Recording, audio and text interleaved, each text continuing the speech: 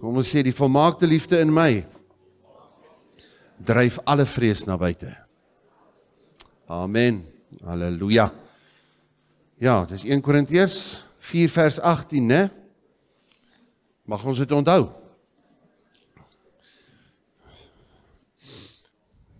Te veel sien ons hoe vrees gevestig wil word in sekere dele van die wêreld. In hoeveel nasies in hierdie tyd? Nee. Wat Europa wil doen, wat Israel wil doen, wat Iran wil doen, wat eh, China wil doen, wat Taiwan wil doen, wat waar ook al. Die nasies word geskit, my boet, my sis. En verstaan, daar's demoniese vestings wat wat wil inkom. Daar's hallo. Daar's woning wat gemaak wil word. Duiwels wat wil sê ek wil woon in daai volk. Ek wil woon. Ek wil vrees moet gevestig word. Bitterheid moet gevestig word. Hallo, revenge must be established. Gaan dit sou wees nie in Jesus naam. Hoekom? Want die kerk gaan wakker wees. Want die kerk in die nasie sal opstaan, die kerk in Oekraïne, die kerk in China, die kerk in Taiwan sal staan teen soos wat soos 'n storm wat die vyand wil inkom, soos 'n soos 'n vloed wat wil inkom met vrees, met bitterheid, met goed wat gesien word, goed wat gehoor word, wat gebeur en onvergewensgesindheid, bitterheid. Hallo, oordeel, hardheid van hart. Soveel goed wat gevestig kan word volgens die feite.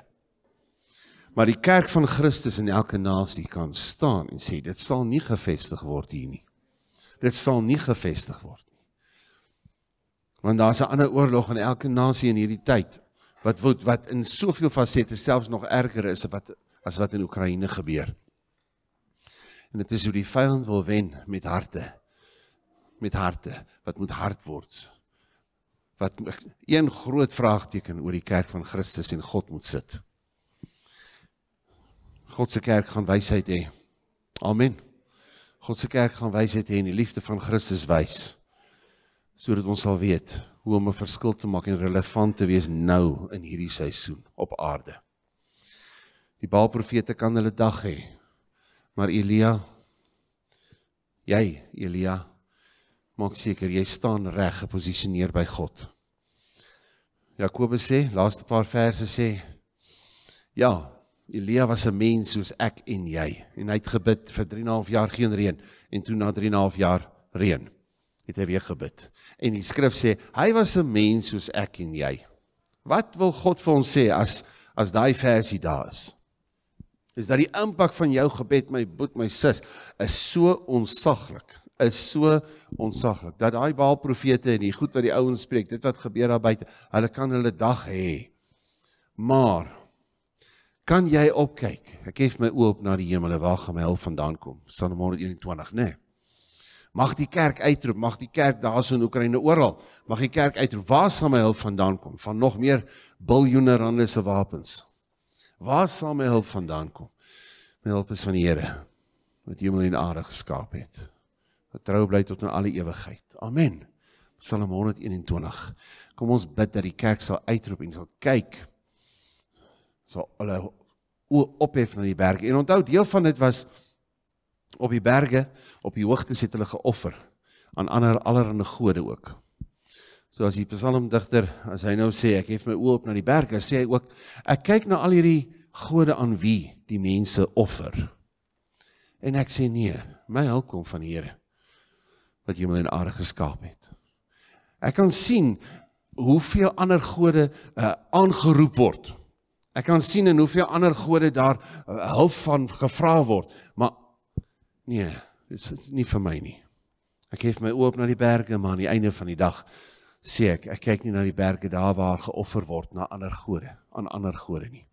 Soveel konings in Israel wat 'n klomp met 'n klomp rabbies gedeel het in Israel en dan sê hulle, maar die hoogtes is nie afgeskaf nie.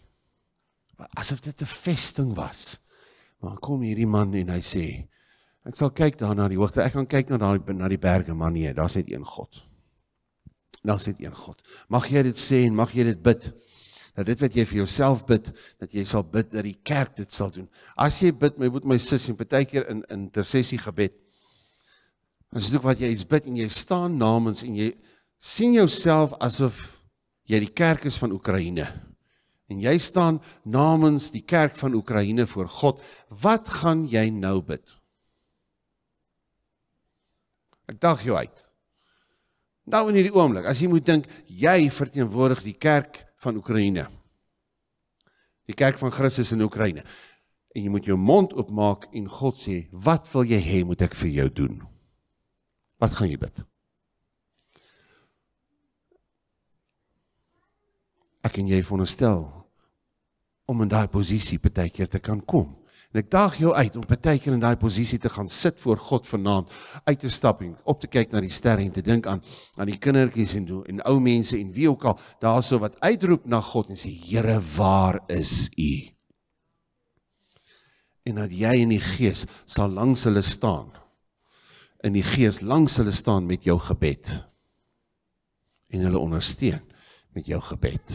En jy hak in by die kerk in Oekraïne. Jy hak in by die kerk in soveel lande. Hallo. Waar die vyand kom staan jy na die kerk en sê kyk wat kyk daar, kyk daar, kyk daar, kyk daar. Judge. Take offense. Hoe kan daar 'n God wees? So die vyand gaan staan by elke nasie en sê kyk na die nuus, kyk, hoe kan jy sê daar's 'n God van liefde man? Belaglik. Wat gaan die kerk doen? ek en jy gaan inhak. Vra Heilige Gees, Heilige Gees gebruik my. Wanneer ook al, hoe ook al, as ek daar tussen 1 en 2 5 minute moet vat, as ek hier 10 uur 5 minute moet vat, wys vir my. Sit dalk 'n alarm aan, net vir 'n week, hierso vir 7 die aand of 9 die aand, kwart oor 9 die aand en vat net 5 minute en sien jouself jy gaan staan langs die kerk en jy vra die Vader iets saam met Oekraïne. Vra jy vir Oekraïne. Here, Ek vra vir Oekraïne dat dit en dat en dat sal gebeur. Kom asseblief Here en kom doen wat? Wat? Hulle ontvang nie want hulle vra nie. En as hulle vra, vra hulle baie keer verkeerd. Hallo? So mag God ons help om om reg te vra. Ja, ons kan bid die oordeel ja, moet kom. Ons kan bid die oorlog moet eindig. En dis reg. Ons moet bid vir haar beskerming. Maar die meeste bo als dat hulle beskerm sal wees in hul geloof. Dat hulle geloof, hulle sal standvastig bly. Gaan kyk die sewe briewe wanneer dit rof gegaan het in rondom die eindtyd kerke wat wat Paulus skryf in. Askies nie Paulus nie Johannes. Daar in Johannes 2 waar's ek nou? Is ek heeltemal gesê in Openbaring 2 en 3 wees met die gees vervul, nie enige ander ding nie, nê. In Openbaring 2 en 3. Die vir die kerke in die eindtyd, wat is dit? Daar's 'n bemoediging van Jesus, volhard, volhard, volhard, volhard. Nie dit gaan noodwendig stop nie. Nie die kerk bemoedig dan gaan oor môre gaan daar nie vervolging wees nie.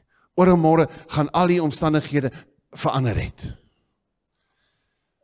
Die dag na oormôre gaan alles net mooi mooi uitwerk. Die bemoediging is om te kan staan in die midde van om getrou te bly. Om vas te hou. Hallo dat die lamp nie uitgeblus sal word nie. En mag ons dit bid meer as iets anderste dat die kerk sal vashou. Is dit nie wat in in die ou bedeling met Rusland en China wat die ouens gesê het, nee, bid dat julle sal staan en bly en bid dat ons sal staan en bly. Nie bid dat ons dat daar nie vervolging is nie. Bid dat ons sal staan en bly, bid dat ons getuienis reg sal wees. Is die manne en vroue in nasies wat weet van gebed, wat weet van intersessie, wat weet van hoe om in die troonkamer te wees gefokus met respek, met geloof, met integriteit, met met hulle hele wese te kan wees voor God in die troonkamer. Daai ouens wat sê is reg, bid vir ons, maar bid dit ons sal staan en bly. Nie eersins bid dat daar nie vervolging is nie. Mag ek en jy in hierdie tyd, my broer en my sis, al hoe meer, al hoe meer so volwasse word as kerk. Hallo Want daar gaan 'n volwassenheid opstaan in die gees in die kerk om om om voor te bring dat die bruid van Christus skoon onbevlek voor Christus presented will be presented to Christ a glorious bride vir die bruilof van die lam. Hoe gaan dit gebeur? Dan gaan 'n kerk wees wat opstaan dan gaan Christene wees wat opstaan wat weet hoe om die geestelike baarmoeder te wees vir die geboorte vir die geboorte. Né? Nee, eindtyd daar's twee goed. Vier it will be like fire and birth daai oulike woord in Engels pangs birth pangs geboortepyne so die intensiteit en wat in die gees gebeur is deur die kerk is die geboorte van en in die vuur die reiniging van die geboorte van en die reiniging van dit is gaan gaan lees al dis oor die profetiese rede van die eindtyd Matteus en 'n paar van die ander boeke en gaan sien dit is die twee hoof temas. Die vuur wat reinig. En ja, tot op die punt dat alles sal vernietig word deur vuur. Een keer deur water en een keer sal alles vernietig word deur vuur. Maar in die vuur van dit wat wat vernietig moet word wat nie ewiglik is nie. Alles wat nie ewig is nie, moet vernietig word. Hallo? Maar dit sal daar sal skurrings wees, maar die vuur sal wees. Daar wees. Die vuur sal brand en om vandag ek en jy te sê, Here, soos wat die woord kom, laat dit soos vuur brand in my. Laat dit soos vuur uitbrand. Dit wat nie van U af is nie. So dit daai daai branding hang af van jou geloof. Dit hang nie af van of jy dit so 100% alles of ek alles en jy alles verstaan wat hier staan nie. Maar as ek glo wat hier staan, al verstaan ek nie wat hier staan nie. Maar ek vat dit in geloof, doen dit 'n brandende werk in my teenoor iets wat my gaan vernietig. Maar dit wat my lewe kan vernietig met Christus. Daai vuur van die woord. Die woord kom soos vuur en hy verbrand daai robbies. En mag dit vandag so wees want môre, oor môre en aan die aan die einde van die dag gaan dit die woord wees wat kom en hemel en aarde alles wat wankelbaar is, gaan vernietig word. Met net dit is die oomblik en die woord is gespreek en dit word vernietig. Maar Here in u genade kom vandag en spreek so in my lewe en en vernietig alles wat nie van u af is nie. Amen.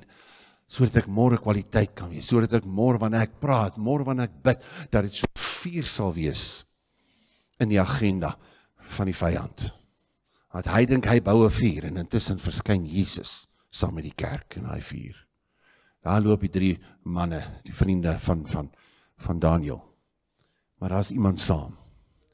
Dis in die vuur wat die vyand die skrik van die Here kry. Dis in die vuur. Hallo. Dis in die vuur waar die kerk wat gesien word in die vuur mag Oekraïne, mag Rusland, mag daai ouens Jesus sien saam met die kerk beweeg. Hallo? Dat wat ook al se vuur die wêreld wil bou, soos wat hulle die vuur gebou het met hulle eie wêreldse agenda. Toe die kerk in die vuur land, toe word Jesus ook gesien. En sy bring hulle uit, bring hulle uit. Hoe kon hierdie omstandighede nie so aan julle gevat het nie? Julle vel is nie eens geskroei nie. Niks van hierdie vuur het aan julle gevat nie. Want hulle het 'n kwaliteit in hulle gehad wat nie net bid teen die vuur nie. Wat nie net bid, Here help ons dat ons nie in 'n vuur kom nie. Maar help ons om die geloof en die guts te ons sê om te sê, maak nie saak wat nie, ons sal staan. Ons sal staande bly, ons sal vas staan. In die naam van die Here. Ons sal vas staan. En koning net sodat jy weet, ek wil hê jy moet weet. Onthou julle wat hier in die woord so sê. En ons wil hê u moet weet, koning, dat al sou ons God ons nie red uit die vuur nie, sal ons nog steeds nie buig voor jou gode nie. Sal ons nog steeds nie buig nie. So kom ons bid dit vir die kerk. Kom ons bid dit vir onsself. Eerstens die Here verander my dat ek daai kapasiteit kan kry en dat ek met daai statuur en kapasiteit dit kan bid vir Oekraïne, kan bid vir die ouens oral die wêreld. Dis nie net een daar's hordes verskillende oorloë wat wat so is. En die voedsel uitdagings wat al hoe meer al hoe meer al hoe meer kom. Die geleenthede kom al hoe meer al hoe meer al hoe meer al hoe meer vir bonatuurlike wonderwerk. Hallo. Die die die die die turmoil in die gees my boet my sis waar in die gees is reël en daar daar's ons daar's so 'n intense konflik soos in die tyd van die konflik in die gees van toe God die 10 plaae gestuur het en alles word geskit want daar's so 'n volk wat uit moet beweeg en in moet beweeg in dit wat God vir hulle het. Daar's 'n volk wat moet uitbeweeg. Daar's 'n kerk wat uitgeroep word. Kerk staan vir eklesia, né? Eklesia is die woord kerk. En dit beteken uitgeroep, uitgeroep uit die wêreld, nog in die wêreld, maar uit die wêreld uitgeroep. Uit die robbies uitgeroep, uit die manier van dink, uit die patroon van die wêreld uitgeroep. Jy is uitgeroep my broer, ek ek vra net, hoe ver het jy toe uitbeweeg? uit dit wat Robbies denke is, uit dit wat die depressiewe denke is, uit dit wat negativiteit is, uit dit wat versoeking is, uit dit wat normale tipe van way of thinking. Hoe ver het jy toe uitbeweeg aangesien jy uitgeroep is? Uitgeroep beteken jy is gekerk. Hoe daai een dame gesê ek is 'n kerkmens, né? Nee? Ja, almal weet hom.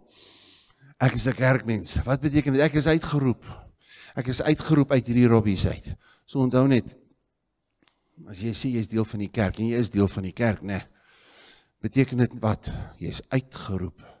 Who has called me out of darkness into his marvelous light. Dis kom jy lewende steen is, lewende steen want jy is uit die robbies uitgeroep. Maar ek kan nog besluit om dan nie uit te stap nie. Alhoewel ek uitgeroep is. Jy kan uitstaan by die werk deur nie saam te lag vir hy gemors grap nie. Jy kan uitstaan deur nie so te vloek nie. Soos wat die ander een sal vloek nie. Kan jy uitstaan hoekom want jy is kerk. Kerk beteken jy is uitgeroep om uit te staan. Hallo.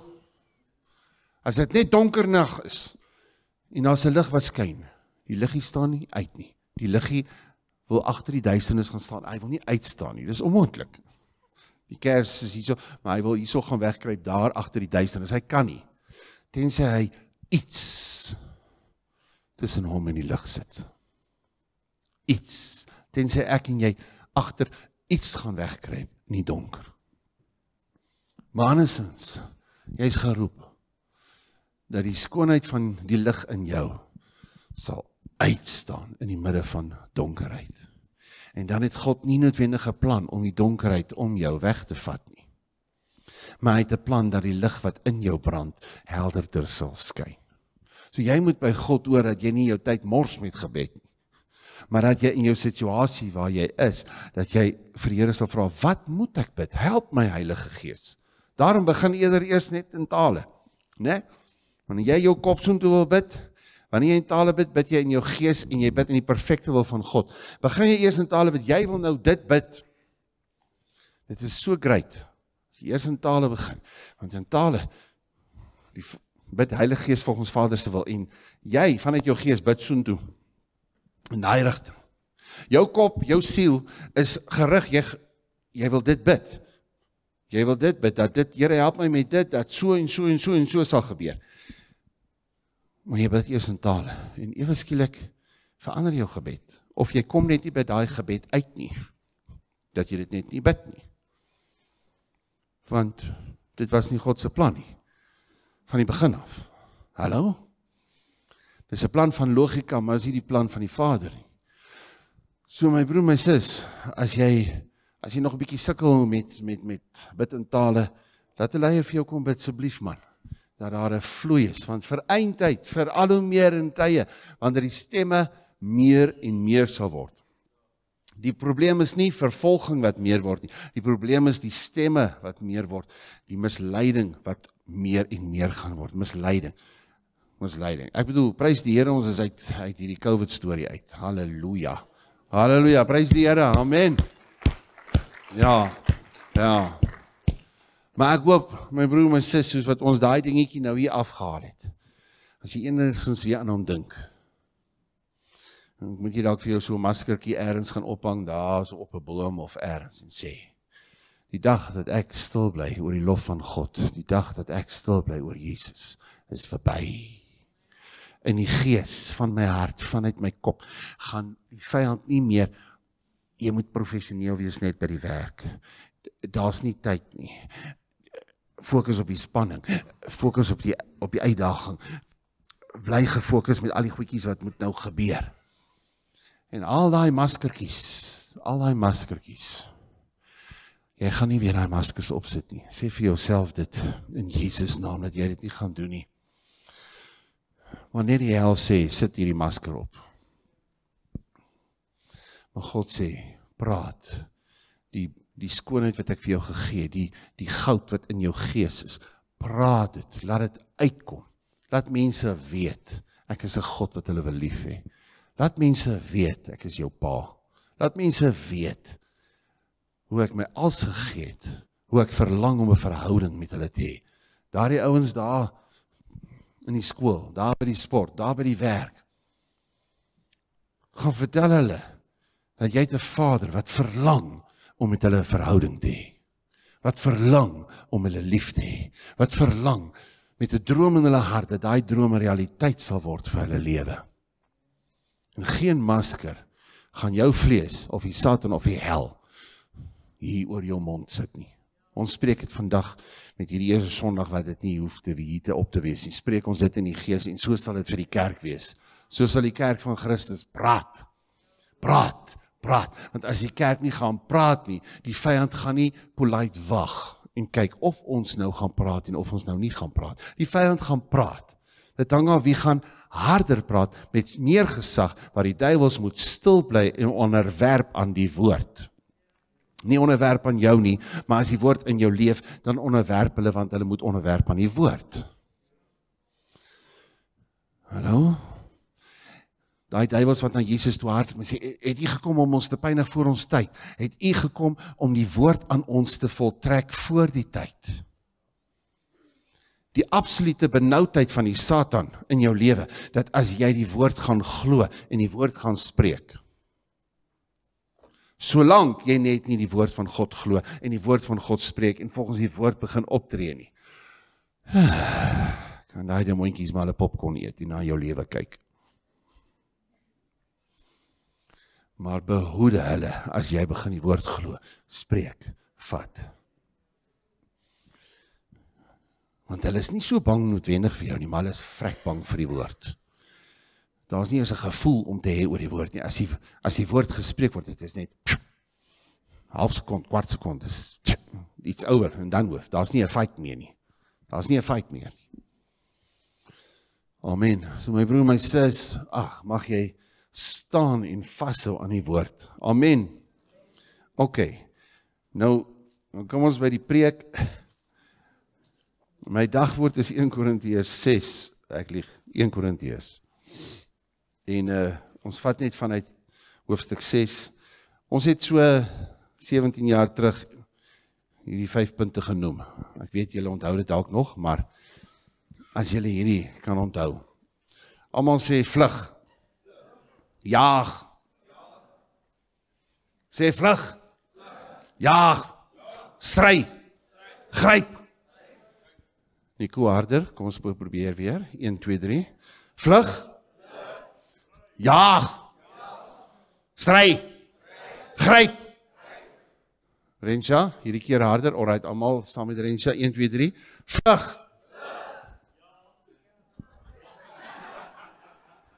Ons het so mooi geoefen op om ritme dit te doen, jy weet. Jaag hy nou weer die ding aan. dis vlug, dis jaag, dis stry, dis gryp. Hoe klink dit vir julle? Hou met baie goeie maniere. Nou sê. My boet my sis, dis 'n beginsels aan die einde van van hierdie brief wat Paulus nou vir vir Timoteus sê om wat om vir die kerk te sê en hoe hy as Timoteus 'n man van God moet leef.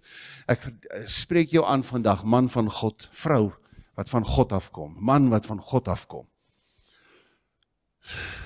Daar's 'n paar dinge aan die einde van die dag nadat alles verduidelik is deur Paulus wat hy hierso in hoofstuk 6 so so so so so 'n paar goedjies wil sê. Maar jy man van God. Nou al hierdie goed wat gepraat is. So aan die einde van die dag jy sê vir jou buurman jy. Nee, sê dit met attitude jy. Jy man van God, jy wat van God afkom. Jy Kieran wat van God afkom. Hallo, jy Emil wat van God afkom. Jy vlug. Hallo? Jaag. Gryp. Hallo? Uh as jy met hoe hoe klink dit? Dit klink na 'n paar intense goed van wat jy veronderstel is om jouself, jou energie, jou fokus, jou hele wese daar moet in te sit. As ons met mekaar Weet jy van die vyand? Hy kom met 'n intensiteit na jou toe. Hel kom met intensiteit om hel die lewe vir jou hel te maak. Dan vat jy nie op sy turf nie, nee. Jy jy jy gaan nie na na sy vlak toe nie. Hallo, maar jy veg met die woord en dit is op 'n ander vlak. Dit is op 'n ander vlak. Is jy met my? Maar in hierdie met die woord. As jy nou praat, as ons hierso van vers 9 af. Dan praat jy nou van al hierdie goedjies. Ag, kom ons gaan nog terug. Ja. Also by 6 vers 6. 1 Timoteus 6 vers 6. Maar die godsaligheid saam met die vergenoegdheid is 'n groot wins. Praat van waar is jou hart? Waarop sit jy jou hart? Waarmee is jy jou is jy besig? En hierdie ding gaan eintlik oor jy kan so besig wees met jou alledaagse eie ek storie. En met die eie ek storie, dis ek en my wêreld. Dis daar waar hierdie goed inkom waar hy sê van die, die geldgierigheid is die wortel van alle ewels. Dis nou vers 10. Geldgierigheid wortel van alle ewels, want daai geldgierigheid bring 'n vlug in jou, bring 'n jaag ook in jou, bring 'n stry in jou, bring 'n gryp in jou, maar wat totaal verkeerd is. Maar daar moet 'n vlug wees. Daar moet goed wees wat jy van weg hardloop. Daar's goed wat jy moet jaag en jy moet dit najaag. Daar's goed wat jy moet oorstry. Daar's goed wat jy moet gryp. Maar die eerste plek waar jy gaan dit gaan doen is ter wille van jouself. Maar in dit is dit 'n geldgierigheid en daai geldgierigheid eersens gaan nie net oor oor dan nou die geld nie, maar ek is gierig eh, ek kan amper sê in die root eh, eh, in die in die in die fondasie dit doen met selfsugtigheid selfsugtigheid. En daai geldgierigheid gaan dit oor 'n selfsugtigheid. Dit gaan oor my.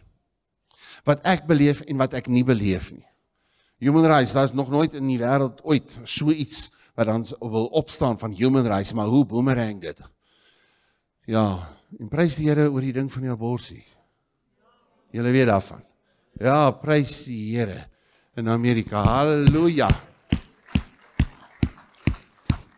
Ons gaan miskien net nou daaroor praat met die tydens die offergawe, maar ehm um, wat ons daai projek geloods het, maar ons gaan hom loods, ons gaan die kontakte kry man, uh, daar in Amerika waar ook al. oor uh, the voice of the fetus. Onthou julle, julle het so 'n ou papiertjie ontvang en ek weet julle het hom nie weggegooi nie, julle het hom op sekere plekke gelos en vir mense gegee en as ag, baie dankie man. The most dangerous place on earth, the womb of a mother. Nee. En ehm um, ja, God gaan 'n ding doen. Daai ding wat ons onthou julle wat ons hoeveel keer ook begin bid het van hierdie offer van kinders, kinders wat geoffer word, hoe die goddelose babas offer en hoe dit die demoniese oopmaak en hoe dat actually met aborsies soveel van die demoniese eintlik oopgemaak word oor nasies met hierso 'n offer Hier's 'n offer te wille van selfsugtigheid. Hier's 'n offer te wille van wat ek wil en wat ek nie wil nie. Hallo? En geen veroordeling vir die wat daar deur was nie. Prys God vir die bloed van Jesus. En dat die offer van die kruis staan bo alle ander vlees robbies offers van ons lewens, nê? Nee, prys die Here dat ons moed het en môre 'n nuwe geleentheid is as gevolg van die feit dat jy respek het vir die bloed. As jy respek het vir die bloed, dan vat jy môre 'n nuwe geleentheid. Jy loop nie met die veroordeling van eergister en die veroordeling van gister en veroordeling van leef verlede jaar. Jy loop nie met daai veroordeling en dat daai veroordeling jou kom versmoor vir dit wat God jou vir jou het volgende week nie. Kom ons sê gister gaan my nie versmoor. Want die bloed van Jesus werk. En die groot vraag is, gaan ek respek hê vir die bloed? Mag dit so wees vir my en jou. Amen. Respek hê vir die vergifnis wat God my gee. Dat hy my nie vergewe om net te vergewe nie, maar omdat hy vir my 'n geleentheid het vandag. Hy kan my vergewe die dag toe ek my hart vir die Here gegee het. Net daar, hemel toe gevat het. En dit is verby en ek is in die hemel. Maar ek is nog hier op aarde want deur die vergifnis hier op aarde is dit nie net sodat ek in hemel toe gaan nie deur die vergifnis en in 'n verhouding kom nie, maar ek is nog hier op aarde omdat God deur die vergifnis van die bloed 'n geleentheid vir my het môre. En wat is die geleentheid wat God deur die bloed vir jou môre het? Want wanneer jy dit nie vat nie, is dit nie wanneer my broer my sis wanneer jy in selfveroordeling sit of wanneer jy in iets sit wat jou vashou. Dan sien jy nie die geleenthede nie. Was iemand al daar? Ek was al daar. Dan sien jy nie daai geleenthede nie. Dan is die moedeloosheid gou-gou daar of jy sommer net wil opgee of net negatief wil wees of daai goedjies kan gou-gou daar kom sit. Maar deur die bloed van vergifnis is jy nog steeds hier en nie na jou vir jy vergewe is dadelik hemel toe gevat nie. Maar is jy nog steeds hier op aarde die volgende oggend omdat deur die bloed daar 'n geleentheid op aarde vir jou is. Amen. So deur die bloed het jy toegang tot die troonkamer, maar jy leef môre nog hier omdat jy die bloed daar jy 'n geleentheid het in die naam van Jesus. En hy het gekwalifiseer vir dit. Jy moet gekwalifiseer wees, jy moet 'n graad hê, 'n uh, mediese graad hê om om te gaan werk in die hospitaal. You qualified. And he is your qualification. God is die qualification in die bloed. Is daai sertifikaat, daai graad wat jy wys dat jy die reg het, dat jy die gesag het om die volgende besluite te neem. As 'n dokter het jy die gesag om hierdie besluite te neem en geen ou, geen regering kan teen dit staan nie, want jy het die gesag om hierdie besluit te neem. Hallo. Jy staan met daardie papier. Hallo. Ek het die gesag hierso. Ek het die gesag om dit te kan sê. Het jy as dokter altyd die regte besluite geneem? Nee. Maar het jy die gesag? Ja. Jy gratis nie van jou weggevat nie om dit dit is toe 'n verkoue. Dit is toe nou nie 'n maaggriep nie. Daarom is jy nou nie meer 'n dokter nie. Wat 'n dokter het so gedink? Ek weet nie wie is daai dokter nie. Hallo? Oor 'n maaggriep in plaas van 'n verkoue. Nee. Nou hoeveel te meer jy kind van God, jy staan met die gesag in jou hand. Jy het die gesag. Stap in die situasie in. Hoe kan ons in 'n in 'n in 'n in 'n battlefield daar wees is hy so iemand is hy so 'n dokter. Jy het ons genoeg storieetjies gekyk al, jy weet. In die vliegtyg. Hier is 'n persoon wat 'n hartaanval kry of wat een van 'n aanval kry. Is hy so 'n mediese dokter? En maak nie saak van watter land van wie nie as dit daai ou iets kan wys. Yes, Jesus en almal maak pad oop, almal maak weg oop en hierso en daar so en en iets gebeur. Hoeveel sulke trauma situasies daar buite? Wat eintlik eintlik daar 'n roep is van, is hy so 'n dokter? Is hy so 'n dokter? En daai dokter is jy. It's the sick that needs the doctor, het Jesus gesê, né? Nee. Die geneesheer is in jou. Die geneesheer vanuit die hemel leef in jou. Die geneesheer wat uit die hemel uit gekom het na hier op aarde om deur jou genesing van harte, genesing van verhoudinge, genesing van denke, genesing van liggame, genesing van hoeveel. Kom ons maak 'n lys van 1000 goed, nie net genesing van 'n duimpie wat met uitgroei nie of wat ook al nie. Nee, genesing van soveel van fasette, fasette, fasette. En gaan jy stil bly in die vliegtyg? As mense skree, is hy so 'n dokter. Watter dokter gaan stil bly in die vliegtuig? Die dokter wat 'n kan ek sê 'n helse lot issues met homself het. en jy dink aan wat van as ek dalk nou nie die regte keuse wat dan van as ek dalk geshame word en ek nie die antwoord weet van wat daar aangaan nie. Amazing dat selfs 'n heidense dokter baie keer net sal inspring en of hy nou of hy nou gaan weet wat die antwoord is of hy nou gaan weet wat om te doen, wat om te sê as hy ten minste 'n nor normale mens, as hy daarom nie 'n waaragtige onstaglike selfsugtige mens is nie. Waar dit net oor homself gaan, gaan hy mos opstaan. Hallo? My broer, my sis, ek daag jou uit. Jy as dokter, daar waar jy werk, daar waar jy beweeg, daar waar jy iets gaan koop, daar waar jy gaan koffie drink, daar is daar dalk iemand daar wat dringend 'n dokter nodig het.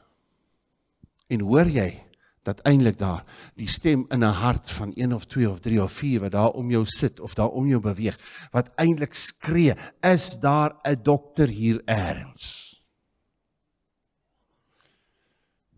En jy jy kan sê wat die dokter sê. Jy die handleiding. Jy weet presies wat die dokter sê. Jy het nie die Heilige Gees nodig om te weet watter deel wanneer op watter tyd op watter plek gesê moet word. Daarvoor het jy die Heilige Gees. Ja, my broer my sis, mag ons die geleenthede verstaan deur die bloed van Jesus. Môre jy is vergewe, nie net om vergewe te wees nie. As jy vergewe is om vergewe te wees en 'n kind van God te kan wees, dan moes God jou dadelik gevat het. Moes jy gesterf het en hemel toe gegaan het. Maar as daar iets anders te saam met dit is vandag dat jy hier sit, dan sit omdat vandag jy as 'n geneesheer geroep is in 'n plek.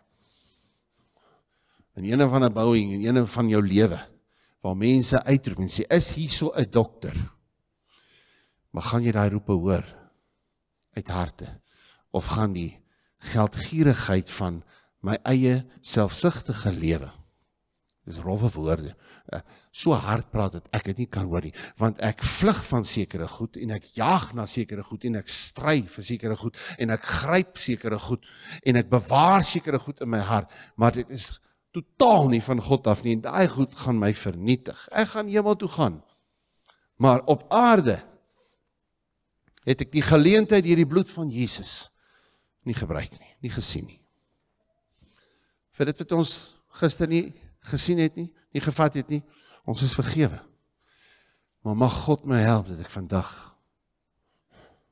nie wegstap van die geleenthede deur die bloed van Jesus. Amen. Vers 14.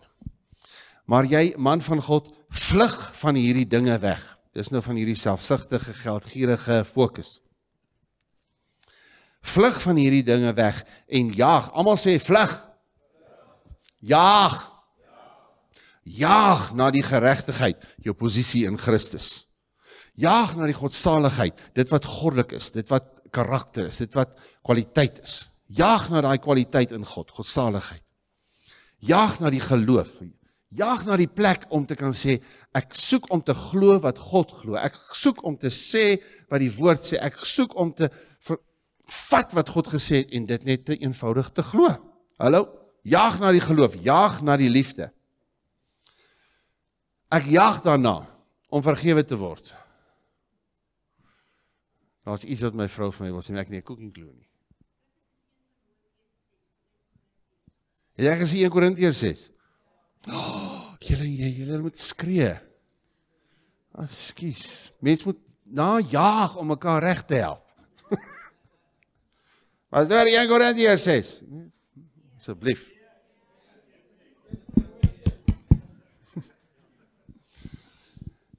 En Johannes het gesê in Korintiërs. Oh, nou weet julle klaar, ek gaan 'n voorbeeld gebruik. So nee, dit help nou nie. Halleluja. Waar is ons? Jaag. Halleluja. Die Here gaan ons help. Jaag na die geregtigheid. Jaag na die godsaligheid, dit wat kwaliteit is. Jaag na die geloof waardeur jy die wêreld oorwin. Jaag na die liefde wat alle vrees. Hallo. Na buite dryf. Liefde wat alle vrees na buite dryf. Jaag na die lydsaamheid. Lydsaamheid. dat ek kan nie maar suffer in silence nie. Leidsaamheid, maar ek het die kapasiteit om iets te kan dra. En daai kapasiteit is ek het die kapasiteit om 'n liefde te wandel. Ek het die kapasiteit om te vergewe. Ek het kapasiteit om genade te gee. Ek het kapasiteit om in geloof te bly staan. Ek het kapasiteit dat ek my nie hoef te wip nie. Ek het die kapasiteit. Daar's 'n leidsaamheid wat in my werk. Daar's 'n daar's 'n stabiliteit wat in my kan werk. Jaag na daai stabiliteit. Hallo? Jaag na sigmoedigheid. Hoe klink dit? Jaag daarna om sigmoedig en neelsie te wees. Nee. Nie valse nederigheid nie. Jaag daarna om leerbaar te wees, buigsaam te wees, want dit is die sagmoedige wat die aarde beerwe, nie die ou wat kan staan op so 'n manier nie. Nee. Maar is die een wat leerbaar is, buigsaam is onder God se hand. Hy sal die aarde beerwe want sy hart is op die regte plek. Hy sensitief vir God se hand in sy lewe, nie vir al die al die kanaans wat hy kan kry op aarde nie. Hallo. Maar God kan jou vertrou met die kanaans op aarde as hy sien jou lewe is in sy hand is nie in die hand van Kanaan nie. En jy gaan sy hand oor jou lewe eer. Dis iemand wat sagmoedigheid verstaan. Is die ou wat God se hand oor sy lewe eer. Amen. Ek vlug van daai rabbies, ek vlug van die selfsugtigheid. Ek jaag na hierdie fasette. Ey, dit is eintlik 'n 10 10 Sondag. Dan vers 12 stry die goeie stryd van geloof. Daar's 'n stryd, daar gaan 'n stryd wees. Klaar.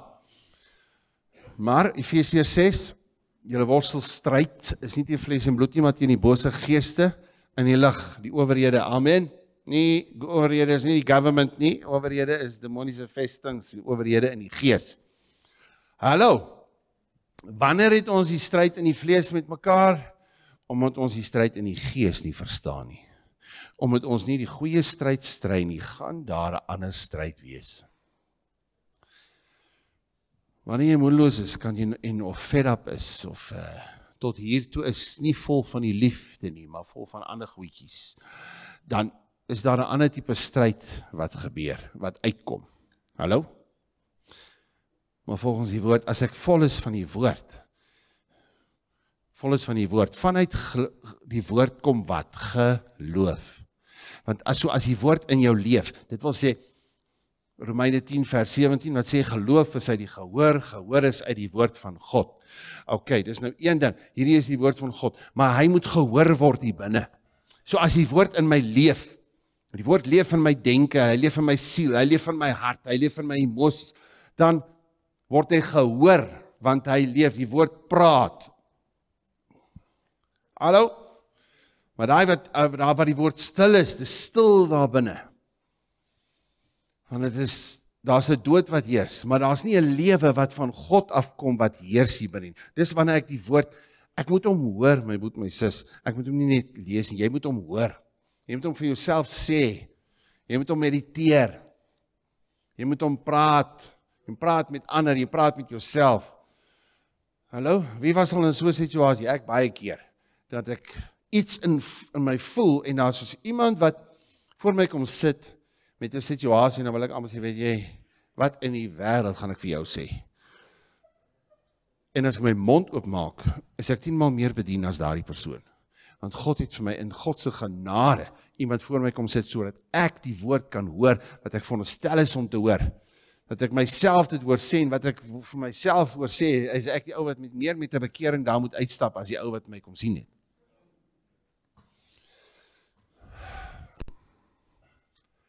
Hallo.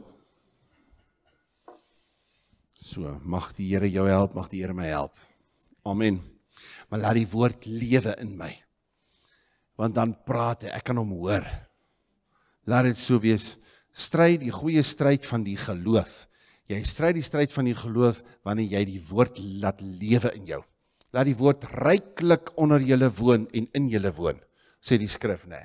As die woord ryklik onder julle woon. Beteken dit ons het so 'n waarde in die woord. Ons ons dweep nie met die woord nie. Ons raak nie so spiritueel met die woord nie. Ons ons ons ons veroordeel mekaar nie met die woord nie. Maar daar's 'n skat tussen hierdie mense. Daar's 'n rykdom tussen hierdie mense. En as hulle so respek vir die woord. Dit ek jy kan so sien hulle is lief vir die woord. Jy kan so sien hulle vind die woord kosbaar. Dit is die getuienis van laat die woord ryklik onder julle woon. Mag dit jou getuienis wees man. Mag dit my getuienis wees daar waar jy beweeg. Dat wanneer jy jou mond oopmaak en jy praat oor die woord en mense dink ag, hier kom Sari alweer en preek vir ons almal. Mag hulle sien die grootste ding nie van hoe jy in jou stem wil wys dat daai een is verkeerd en jy's reg nie. Maar dat jy in jou stem Hulle kan hoor jy's lief vir die woord. Jy praat nou oor iets wat baie kosbaar is. Wie wie wie wie, wie weet van as daai ou tannie of ou oomie, hier is nou ou oomies en tannies nie, maar kom ons sê, die as hy so sou gewees het. Ou oomies en tannies. Jy weet. Wat en jy daai tannie vertel hierdie storie. Maar dit is dis wie weet al so 'n ouma oupa gehad. Hier gaan ons weer oor daai storie, jy weet. Jy weet. Maar haar oogies flikker sommer as jy daai storie van haar gesig helder sommer so op as jy, jy weet hier gaan ons vir 15 minute gaan hoor. Sy het nou krag gekry sy het nou energie gekry. Maar maar jy kan sien sy eet daai storie sy lees sy proe hom sy geniet hom sy leef haarself weer in in die hele ding. My broer my sis so moet jy oor die woord so moet dit wees. Jou gesig moet ophelder wanneer jy begin praat oor die woord. Mense moet kan sien OK, sy is verlief op daai storie. En dis die storie van die woord. Daai ou is verlief op die woord. Daai ou Ja, en soos wat jy vir daai ou tannie, ek wil amper sê met respek gaan lag. Nie vernederend nie. Mag die mense met respek vir jou lag. Oor dit hulle tog 'n waardering het vir die feit dat jy so lief is vir die woord. Amen. Gaan in die koninkryk in soos 'n kind met die attitude van 'n kind. Weet en geniet dit op so 'n manier. Ja. Moenie 'n masker op daai mond van jou sit dat die vyand dit kom doen nie. Stry die goeie stryd van die geloof. Dit is die stryd dat die woord deur jou sal werk. Stryd van die geloof is dat die woord deur jou sal werk. Jy het hom. Stry die goeie stryd van die geloof dat die woord deur jou sal werk. Gryp na die ewige lewe. Gryp na die ewige lewe. Hoekom? Moet jy bang wees jy gaan dit dalk nie maak nie. Nee, hè? Gryp na die ewige lewe. Gryp vandag na dit wat ewigheidswaarde het. Vandag leef jy die ewige lewe.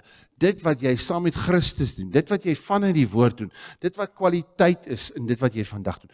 Gryp na daardie geleentheid om die ewigheidswaarde, ooh, kry my so woord, jou ewigheidswaarde lewe daai ding om hom vandag te leef. Om vandag kwaliteit in jou dag te sit, gryp na daai kwaliteit.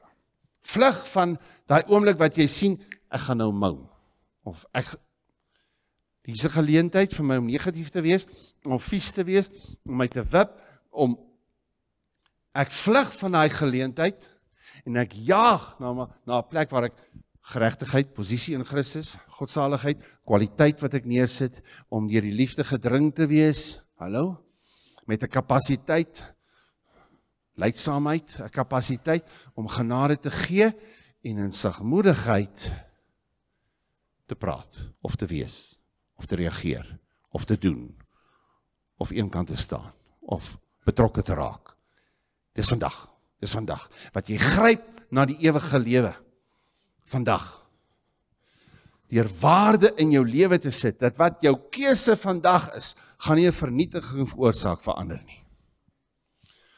Hallo, wie het al 'n paar woorde gesê en jy besef ag Here help my vir wat ek nou daar gesê het. Hoe net ek. Mag die Here ons help in Jesus naam. In Jesus naam. Amen gryp na die ewige lewe. Ons is dit was nommer 4, né? Nee, ons nog een oor. Soos vlug.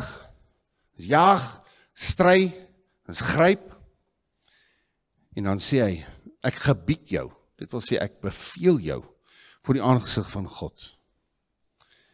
Jy moet toelaat dat jy ontvang bevele voor die aangesig van God van mense of van iemand.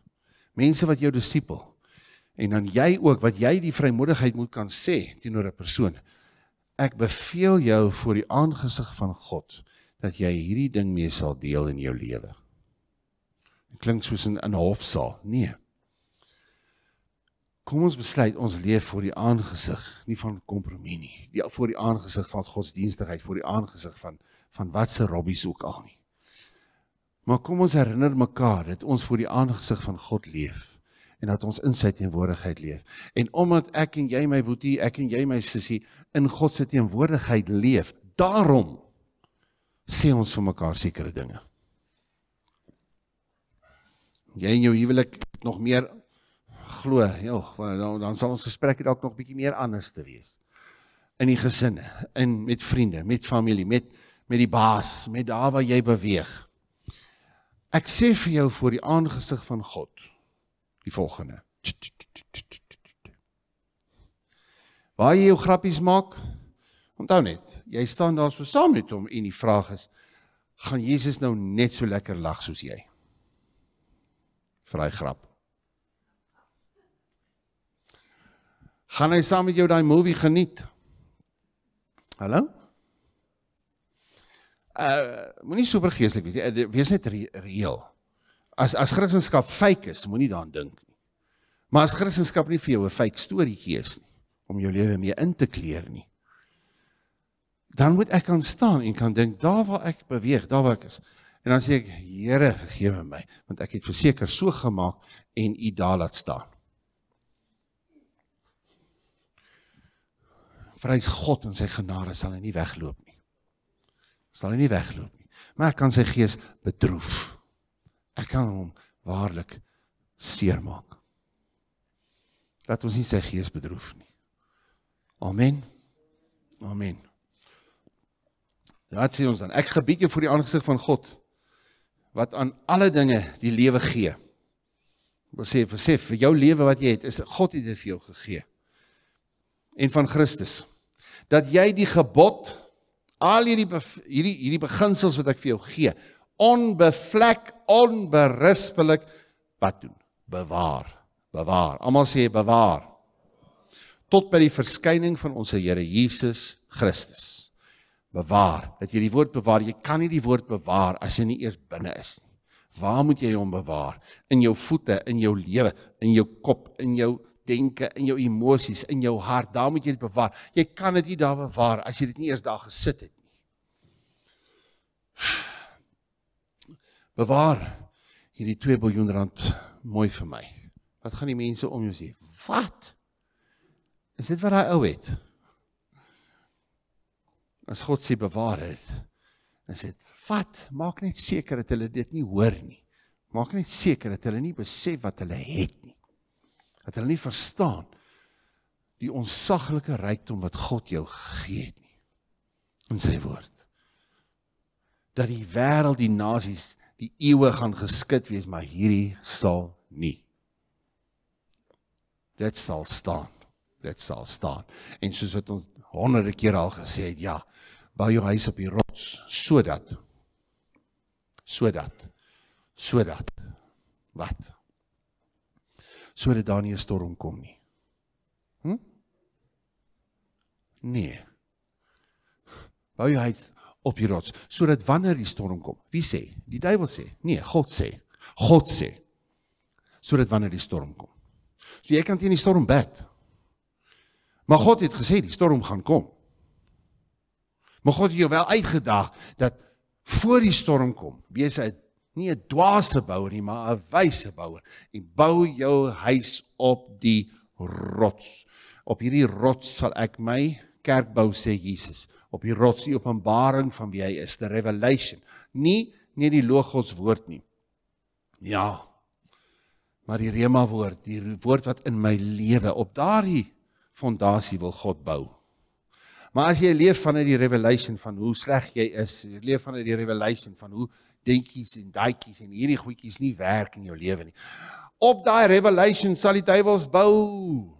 Hulle sal bou, hulle sal iets baie vinnig bou, solank en hoop jy glo daai gemors so lank as moontlik, want solank as weer moontlik is wat jy daai robbies glo oor jouself en oor ander en en in daai staat sit, kan hulle bou en hulle moet hulle het net hierdie seisoen totdat jy dalk begin glo wat die woord sê. Dan moet hulle gaan. Dan moet hulle gaan wanneer hierdie woord sê, sorry. Julle is illegal. Julle is illegal in hierdie plek. Ek dien God en hier is my dokument wat sê you guys are illegal. En uh bou saam met die Heilige Gees met die woord. Bou op die grond van die woord, op grond van die woord. Wat het jy ouens mos gesê? Klein voorbeeldjie mos is daarso. Here, ons het die hele nag, ons het die hele nag. Ons het nou vir u 'n woord hierso oor ons omstandighede. Ons het 'n woord van hoe ons probeer het. Ons het probeer getuig teenoor mense. Ons het probeer in geloof staan. Ons het hierdie gebedstorie probeer om te bid vir ander mense en dit. En ons het probeer in liefde wandel. Ons het probeer 'n uh, uh, woord swat selfs selfs die Bybel probeer. So ons het hierdie goedjies probeer, maar daar het nou nie eintlik iets verander nie, Here. En die Here sê doen dit nou net op 'n ander manier. Maar die ander manier klink so absoluut geklik belaglik dat jy verseker nie gaan dink dis God wat praat nie. Want gaan net en gooi die net aan die ander kant van die boot in want alle visse swem aan die linkerkant van bote, nie aan die regterkant van bote nie. Jy weet, ek bedoel dis mos logies, né? Dis mos net logies. Dit is hoe dit werk. En die Here, die Here gaan jou aspris. Die Here kan so aspris wees in daai sin. Gaan hy jou aspris strategie gee wat belaglik gaan wees vir jou kop, sodat wat? Sodat na die tyd jy net een ding kan sê, dis nie die Here Dit kan nie ek gewees het nie. God is jaloers om die aandag te hê. God is jaloers om die eer te kry. My broer, my sis, so asseblief, asseblief, gaan maar. Al voel jy dis geklik, maar gaan terug en Petrus sê: Here, ons het al hierdie goed gedoen. Dit daar is nie die vis hy is. Maar op grond van u woord sal ons teruggaan sal ons teruggaan. Op grond van die woord bewaar sy woord. Bewaar sy woord. Al môre wanneer jy die woord van God hoor, bewaar dit. Vir die eindtyd kerk. En hy sê, wanneer jy sy stem hoor, verhard nie julle harte soos in die in die dae van ouds nie. Maar vat die woord en sit hom en doen hom en doen hom en doen hom. Amen. Amen. Hy sê bewaar hierdie gebod onberispelik, onbevlek tot die verskyning van Jesus. daarmee sluit ons af. Tot die verskyning van Jesus. Waaroor gaan dit? Jy dra daai woord in jou hart totdat Christus in jou situasie verskyn. Dis nie net totdat Jesus kom eendag nie, maar môre. Jy draai daai woord in jou finansies. Jy draai dra daardie woord in jou emosies. Jy dra daardie woord oor jou huwelik. Jy dra daardie woord oor jou gesin, oor jou seun, oor jou pa, oor jou ma, oor jy dra daardie woord in jou tot die verskyning van Jesus Christus in daardie emosies, in daardie verhouding, in jou finansies. Jy dra hom nie totdat jy 2 miljard rand het nie. Maar jy dra daardie woord totdat Jesus verskyn in dit en jy vat sy hand en jy doen saam met hom in jou finansies wat God vir jou sê om te doen. So as hy vir jou sê jy moet hom saam stap in jou besigheid en jy sy strategie volg en jy geniet dit om 'n medewerker van Christus te wees deur jou deur jou besigheid, deur dit wat jy ook al doen. Hou die gebod, staan op die woord, onbevlek. Staan, staan, staan met dit totdat Jesus verskyn in jou situasie. Nie totdat die antwoord volgens wat jy gebid het so gebeur nie. Onthou wat ons verlede week gesê dink ek. Baie keer dan sê ons, "Ja, ek het gebid en en God het my gebed gehoor." Ek het met 10 questions met 'n profetiese minister het ons daaroor gepraat. En dan dink ons Ja, die Here het my gebed geantwoord want ek het gevra vir hierdie deurbraak en dit het gebeur. En wat as God nou nie gedoen het wat jy gesê het nie? Gaan jy dan sê God het nie my gebed geantwoord nie? Ons verwar baie keer die woorde met God het my geantwoord en God het gedoen wat ek gevra het. God antwoord baie keer, maar dan dink ons hy het nie geantwoord nie, want hy het nie gedoen wat ek hom gevra het nie. maar kom ons laat die verhouding daar wees tot die verskyning van Christus, nie tot die verskyning van wat ek van hom gevra het om te doen nie. Dan het hy geantwoord. Vir kind sal jy sê nie hy het nou vir my geluister as hy dit gedoen het. Maar met alle respek gesê God is nie jou kind nie. So God antwoord jou. Hoe sê ons altyd met die uh, prophetic counseling, uh, jy weet, jy vra 'n vraag, ehm um, mag ek ehm um, roomys kry of uh eh, chocolate? En dan se antwoord, eet jou boontjies. Ek soek 'n antwoord. Die Here antwoord my nie. Jy weet, roomys of chocolate. En ek staan voor God vir 'n antwoord, maar ek kry nie 'n antwoord nie. Want die duiwel kom net tussen en dan hoor ek al 'n ander snaakse goed van boontjies sien ons goed, weet. Dis jou pa wat met jou praat, wat vir jou sê eet jou boontjies. Hy het jou geantwoord.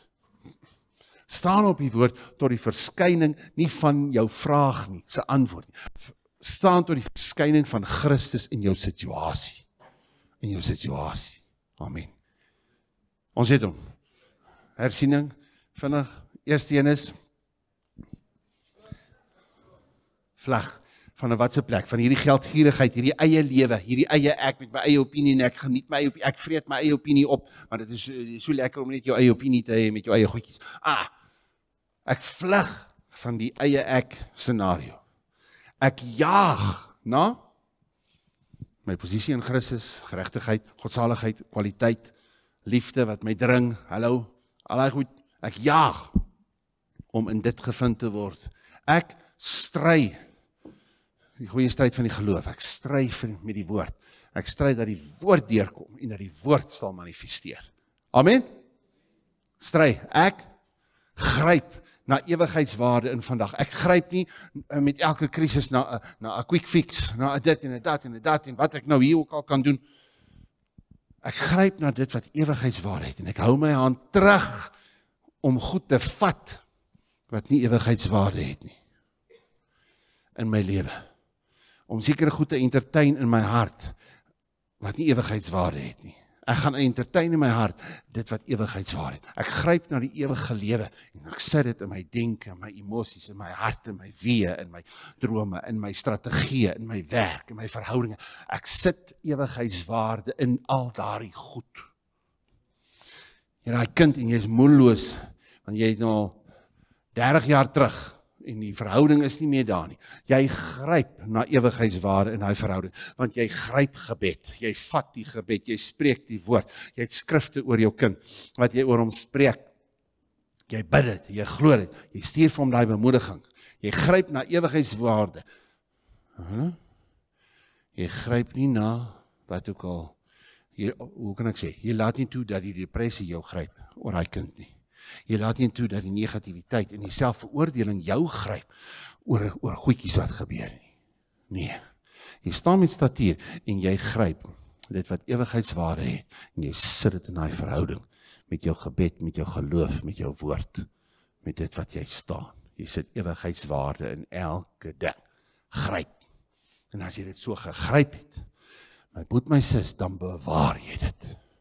Jy bewaar die elkeen van julle bewaar die goudskatte wat God in jou gees gesit het. Jy maak dit oop en jy vat die woord en vat wat jy vandag gehoor het en vat die kwaliteitkeuse wat jy in aanbidding gemaak het en hou daardie kwaliteitkeuse wat jy in aanbidding gemaak het voor die Here. Hou dit. Maak nie saak wat die vyand vir jou wil kom sê nie. Totdat, almal sê totdat. Kom ons sê totdat totdat Jesus verskyn. In jou emosies, in jou situasie, in jou verhouding, totdat Jesus verskyn in jou verhouding, totdat Jesus verskyn in jou werk en in jou finansies en totdat hy verskyn in jou omstandighede. Nie totdat hy jou omstandighede verander het nie. maar totdat hy verskyn in jou omstandighede. En dan loop jy saam met hom, jy doen wat hy vir jou sê. Dankie Hemel Vader dat U ons so U genade, U liefde, U vrede oor ons spoel. Here, U het so geloof dat ons die regte keuse sal maak. En so geloof en 'n verwagting dat ons saam met U sal wandel. Heilige Gees, ek bid vir elke man en vrou in hierdie plek. Ek bid dat hulle sal verstaan hoe om te vlug van die robbies. Ons maak daai keuse vanmôre Here om te vlug van die eie ek, die eie opinie, die eie dit, dit wat gierig is. Dit wat selfsugtig is, Here. Vergewe ons in daardie areas waar dit wel was, Here. Maar ons draai ons om vanmôre. Ons kies om weg te stap van dit. Ons vlug van dit en as 'n leefstyl sal ons vlug van dit elke dag. En ons sal jaag elke dag as 'n leefstyl na ons statuur in U. Die kwaliteit wat U vir ons gee. U mooi skoon liefde, Here, wat ons sal dring En ons bid dat alle vrees uitgedryf sal wees. Geen vrees sal enige man en vrou wat hierso sit meer dring in hulle situasies nie in die naam van Jesus. En ons dank U Here dat U ons vrymaak van daai vrese en daai spanning en daai angstigheid in die naam van Jesus. Dankie Vader.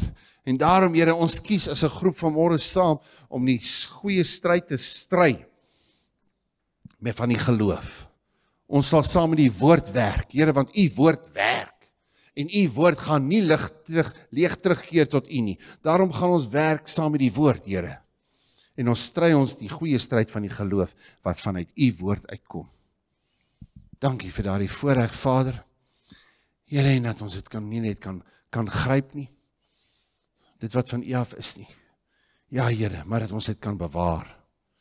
Here help ons om met 'n passie in geloof en in gebed te gryp dit wat van U afkom. Dat ons vergifnis sal gryp, genade vir mekaar sal gryp, dat ons sal gou wees om te vergewe, gou om lief te hê, gou om genade te gee en nie gou om toornig te word nie, gou om ons toorn te gryp, gou om ons eie opinie te gryp. Vergewe ons daarvoor, Here God, en help ons, maak ons vry dat ons sal verstaan hoe om in 'n nuutheid saam met U te leef en daarom sal ons dit bewaar want ons eer dit wat U vir ons gegee het Here. Ons het respek en dankbaarheid vir wat U vir ons gegee het. Daarom sal ons goeie rentmeesters wees en dit bewaar. Want ons het respek vir wat U vir ons gegee het totdat U verskyn in elke situasie. Ek bid vir U genade op elke man en vrou hier dat hulle deur die Heilige Gees sal weet hoe om U woord te bewaar en dat u vir hulle lei om 'n woord te hê oor elke faset van hulle lewe, maar dat hulle op u beloftes en u woord sal staan totdat u in daardie area van hulle lewe sal verskyn. Ons vertrou u daarvoor Vader as 'n gemeente en ons sê ja Here God, lei ons in Heilige Gees om daar saam met die kerk van Oekraïne te staan tot dat u verskyn. Here kom verskyn u self, openbaar u self bonatuurlik aan daardie mense wat wat uitroep, wat uitroep en sê is daar, is daar, is daar 'n dokter in hierdie plek. Ja Here, help ons om so te staan en relevant te wees. Ons vra dit in Jesus naam alleen. Amen. Amen.